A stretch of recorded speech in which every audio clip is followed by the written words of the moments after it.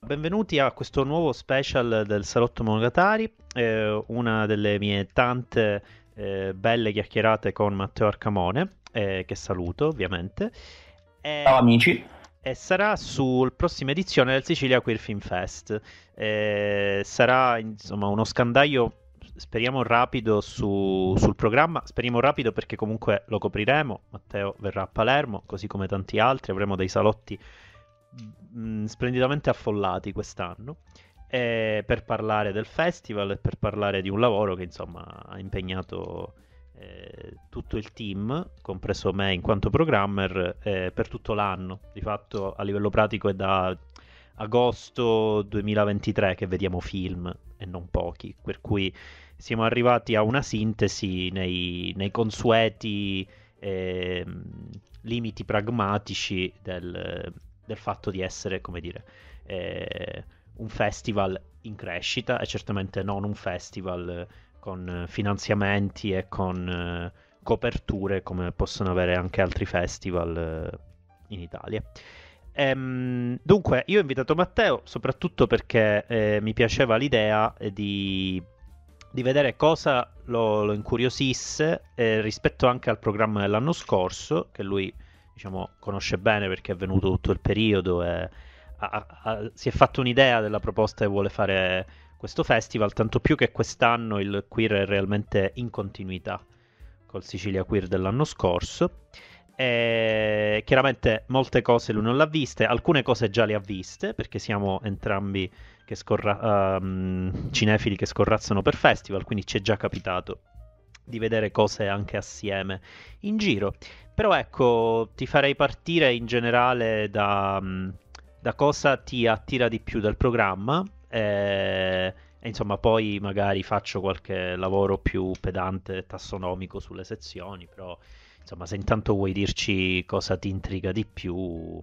Ma allora, eh, spiluccando il programma, a parte appunto i titoli che, conosci- che, abbiamo visto e che sono contento di uh, vedere che sono stati presi al queer, uh, come può essere Gasoline Rainbow, Le Belle Estati. Già del concorso in realtà sono molto contento di vedere che c'è il film di Luca Ferri, che direi che ormai è un regista che abbiamo imparato a conoscere e um, sono molto curioso diciamo di, del suo nuovo film. Poi devo dire sono rimasto molto molto contento di vedere questo film che chiaramente non potendo vederlo l'anno scorso, ma ero veramente curioso di vederlo visto che avete preso un Prince, Creton. Sì, esatto, quello francese. Eh, esatto. Poi, diciamo, abbiamo nello, qualche ormai a, a dicembre eh, facendo la, la, lista dei migliori film dell'anno avevamo messo in, entrambi eh, l'ultimo film di Paul Vecchialì e infatti sono molto contento di vedere uno in giuria l'attore del film e vedere che il film verrà riproiettato al queer, cosa che mi farebbe piacere molto rivedere, insomma mi farebbe piacerissimo rivedere il film di Paul Vecchialì. E poi diciamo sono particolarmente curioso della quasi completa su Pineiro, di cui non ho mai visto nulla, ma è un regista che insomma è legato in parte a quello che appunto avevamo già visto in qualche modo a Laura Citarella perché è argentino e tra l'altro penso che lui abbia fatto dei film col Pampero Sine, cioè sì. da quello che ho capito. Ehm, allora, il primo che è L'Ombre Robato, che tra l'altro è il primo film che si vedrà al festival eh, sabato 25 eh, pomeriggio, è un... Um, è una coproduzione del Pampero nel senso che credo, si legge dall'intervista bellissima che ci sarà sul catalogo, che eh, se ricordo bene è stato montato nelle, negli studi del Pampero, quindi è diventato una coproduzione del Pampero. Lui chiaramente conosceva tutti, ci saranno le videolettere con Mariano Ginas che si scambiavano durante la pandemia, che sono divertentissime, eh, simpaticissime, per cui eh, diciamo il legame col Pampero c'è, dopodiché da un certo punto in poi, io credo a partire dal terzo film, Rosalinda, che sarà al Lago Film Fest, o al massimo dal, quart- dal, quarto sicuramente, che è Viola e che sarà al queer, eh, diciamo il marchio diventa quello di Trapezio Sine, che è un altro, okay. non è un impero, ma è un altro. Però la filosofia è, tutto sommato quella. Mm, Pigneiro forse ne parleremo, anzi avremo uno special molto carino del nostro shakespeariano eh, del podcast, cioè Dario e anche Ale, che è un nostro shakespeariano. Eh, quindi ce ne occuperemo durante i giorni del festival. Però, eh, detto questo, Pigneiro, eh, diciamo, ha la stessa verve mm, borghesiana, forse è più è più letterario, ma non nella, nel senso so, snobistico, noioso, ha più una, eh, un'idea della, di come si racconta letteratura e il teatro, in questo caso eh, il, la drammaturgia di Shakespeare, o anche la poesia nell'ultimo film che è Tu mi abbrasas, come si trasportano questi linguaggi al cinema. Ed è, è sperimenta ed è Boh, non lo so, mm, diciamo è, è molto brillante, mm, bisogna entrarci, bisogna dargli la fiducia, ma comunque sono film piuttosto brevi. Devo dire che è la cosa che più mi, mi attira. E poi devo dire sono molto contento perché continua un legame me col queer importante, eh, ovvero nella sezione eh, carta postale a Serge, ne- a Serge Denet. Sì. Eh, c'è questa intervista a Douglas Sirk che non vedo l'ora di vedere perché in fondo il mio rapporto con il direttore Inzerillo è nato a Locarno durante una retrospettiva su Sirk. L'anno scorso al Queer c'era uh, un film, almeno un film di Sirk, mi ricordo. Due. Quindi due addirittura, due, vedi? Tre. C'è, perché c'era All the Heaven Allowed. C'era, e c'era anche Come le foglie al vento. Esatto, ma c'era anche Magnifica Ossessione. Ah, ok. Quindi erano ben tre. Comunque sì, certo. E quindi procede questo rapporto ormai che va avanti e sono molto contento. E poi siamo, diciamo, sono, abbast- sono molto molto contento di vedere due film di Paul Morrissey. Morrissey. Morrissey. Morrissey direi. Morrissey. Morrissey. sì, della Factory World. Quindi, sì. sì. E quindi... questi diciamo, sono gli altri due classici che penso rientrino nei classici e sono molto contento di vedere. Esatto, i film di Morrissey sono nella sezione retrovie italiane, perché comunque sono film coprodotti dall'Italia con attori italiani eh, e non solo, quindi sono diciamo produzioni, eh, furono produzioni trasversali, chiaramente alla base c'è la Factory di Warhol e Morrissey che sappiamo essere eh, l'operatore di camera di Warhol nei film firmati da Warhol e finalmente poi a un certo punto il regista con i film probabilmente più belli che sono usciti fuori dalla Factory, dalla trilogia di D'Alessandro, quindi Trash, Flash e Hit, fino appunto anche a, due, a queste due riletture eh, sexy horror, diciamo, del, dei due miti. E per quanto riguarda la continuità con, ehm, con l'anno scorso, questo è una cosa tra le più diciamo, secondo me intriganti di questa edizione, proprio perché in realtà non solo c'è l'intervista a Cirque, ma i film di Daniel Schmidt, che è il regista dell'intervista a Cirque, nonché chiaramente autore insomma, delle domande dell'intervista.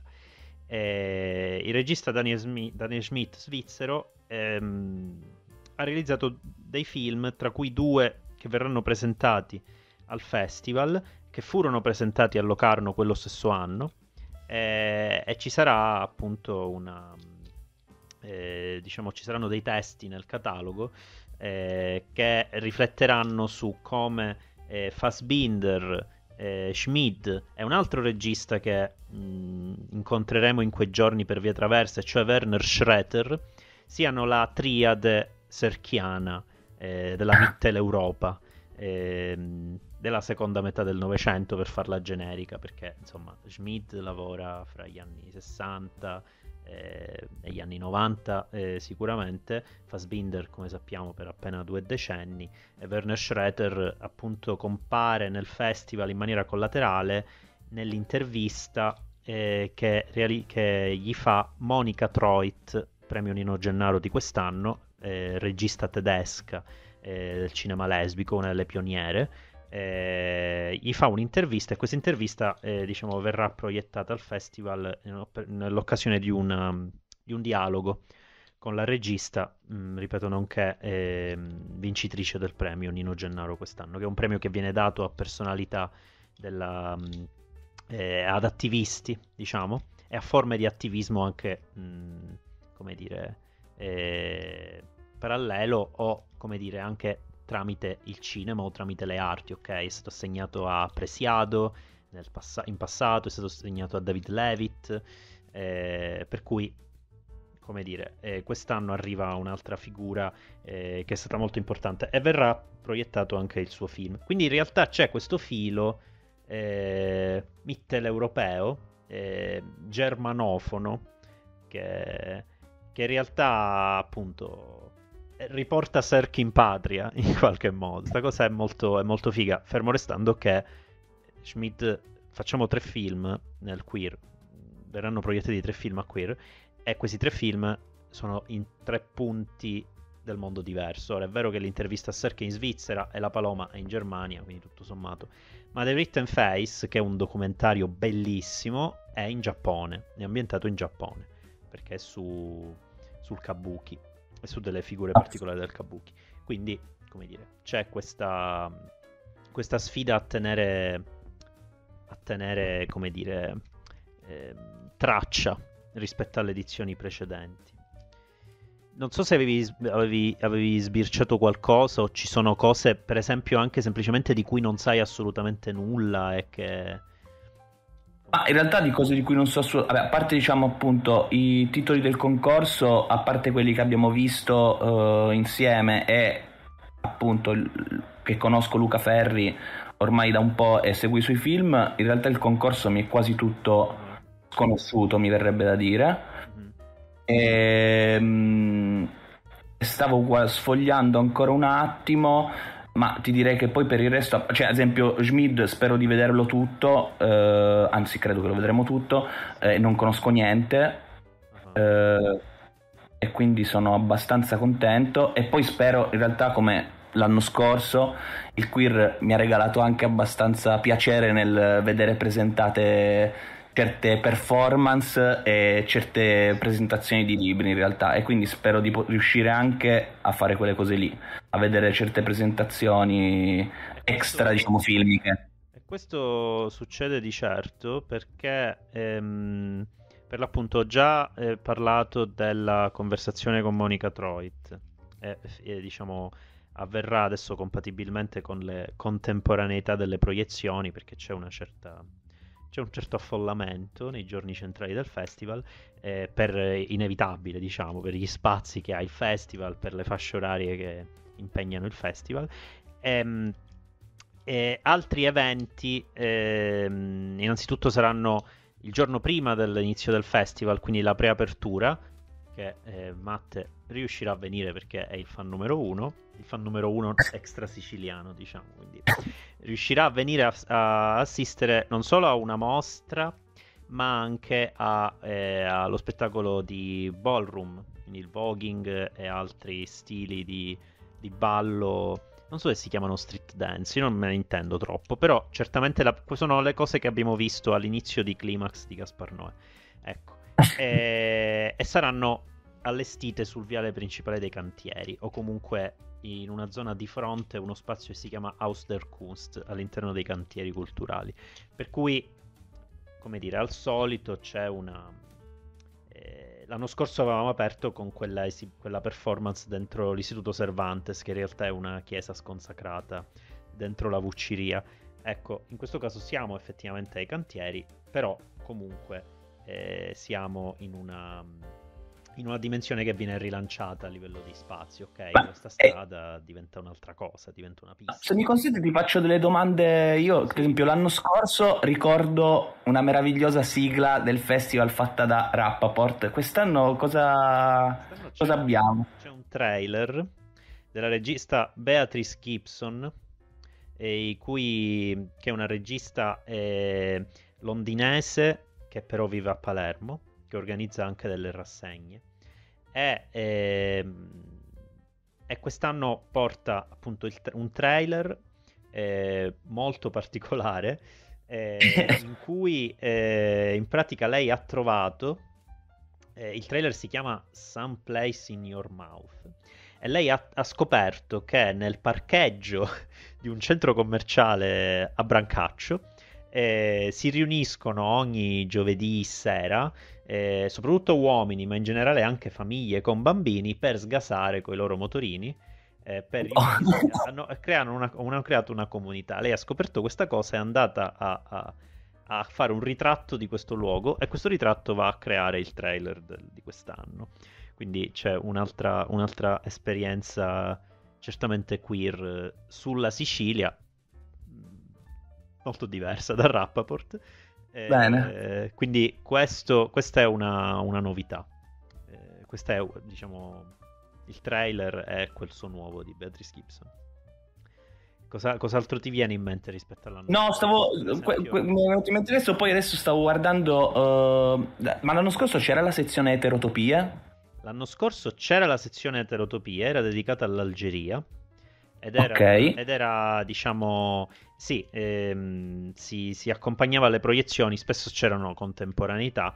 Eh, quest'anno la sezione eterotopia è molto trasversale al festival, nel senso che si occupa eh, con inevitabile urgenza eh, della Palestina, quindi è incentrata sulla Palestina perché l'Autorotopia è una sezione dedicata ogni anno a uno stato diverso.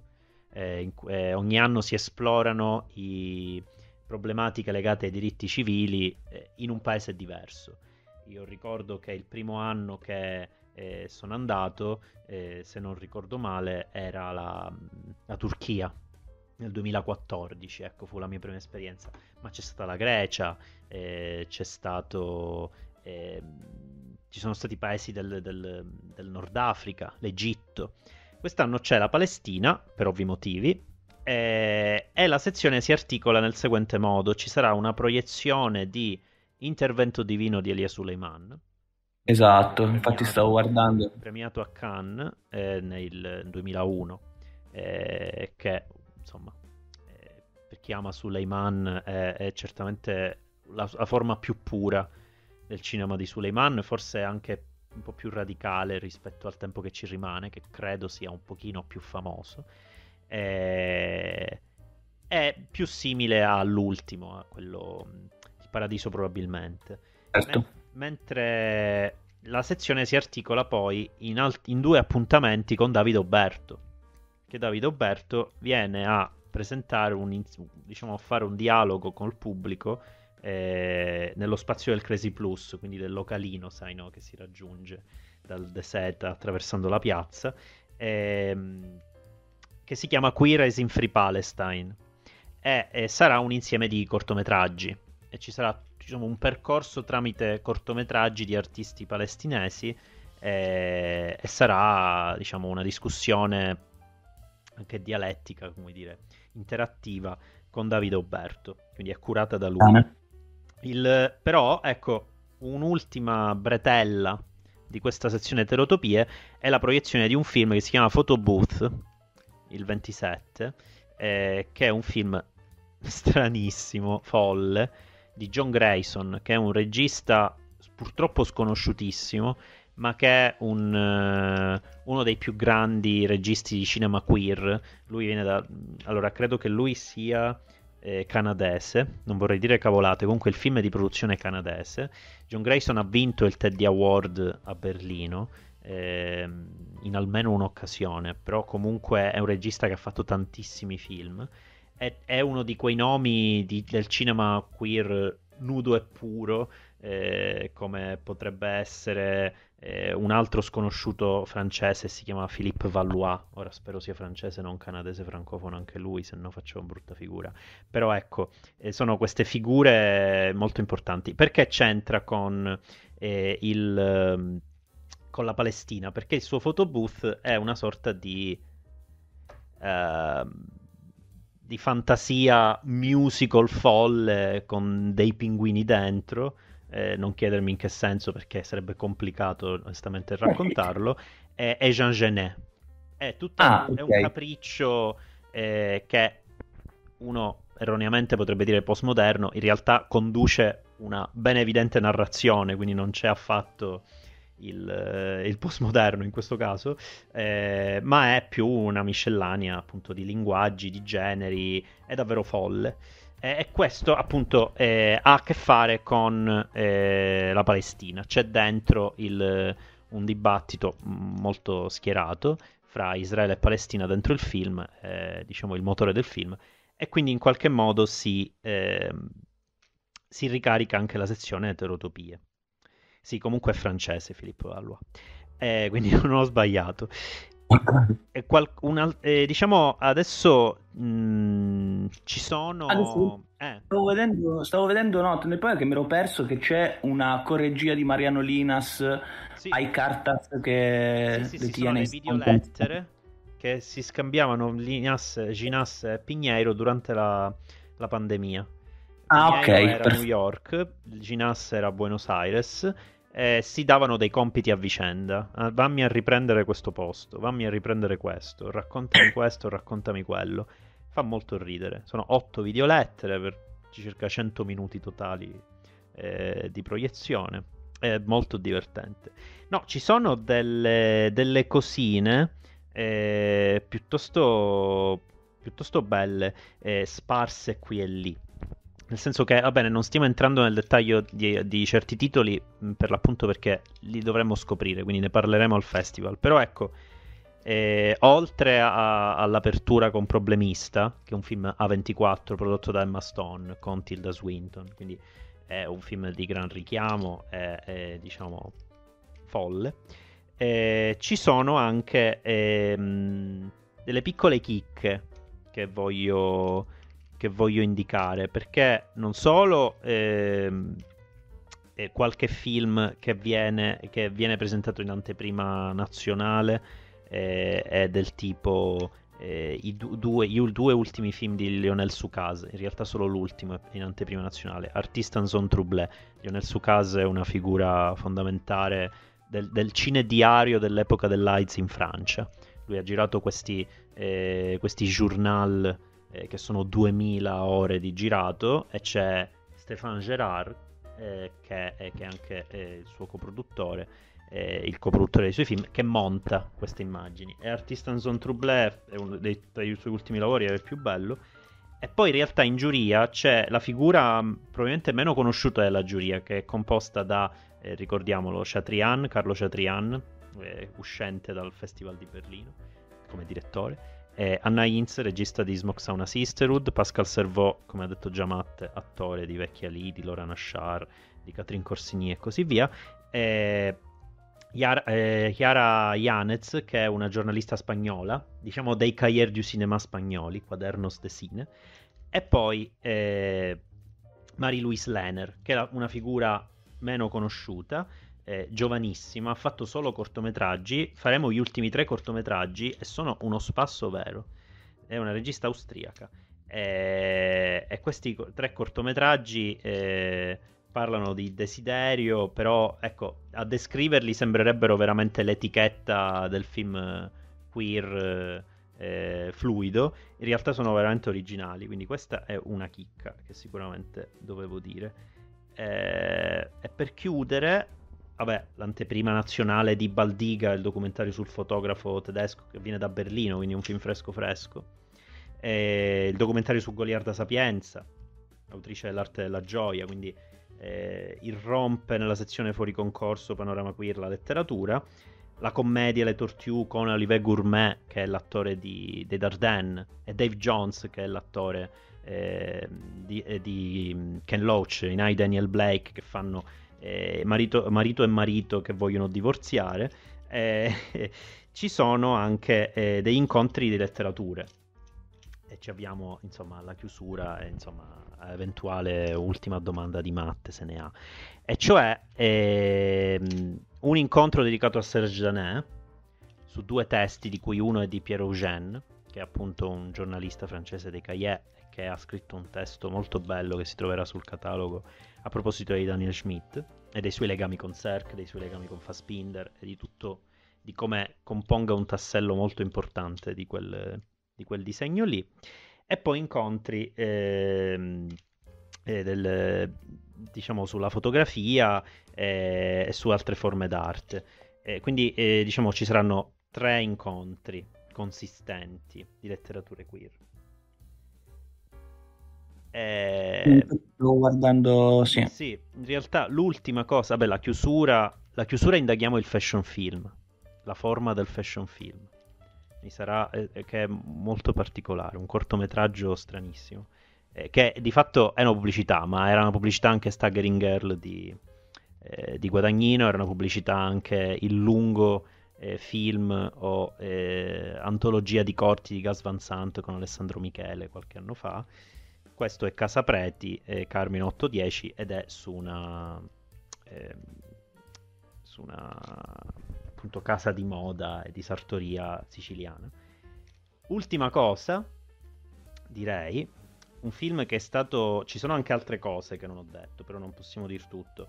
C'è un film che è stato presentato a Torino, è passato un po' inosservato, di Agostino Ferrente eh, infatti, guarda, ti stavo per chiedere quello perché ho notato che il concerto, diciamo la, diciamo, la parte musicale ho letto che concerto della fe- cineconcerto della felicità eh, eh, c'entra Agostino Ferrente, sì, se non sbaglio. Perché eh, Agostino Ferrente con Andrea Satta, che è un musicista, hanno creato questo cortometraggio che ha dentro Milena Vukotic, dentro Bersani, e questo cortometraggio che si chiama Coupon ehm, diciamo, viene presentato in una forma di cineconcerto eh, del tipo Rosa Fuori del Cairo, ok? Quindi la musica del film viene fuori.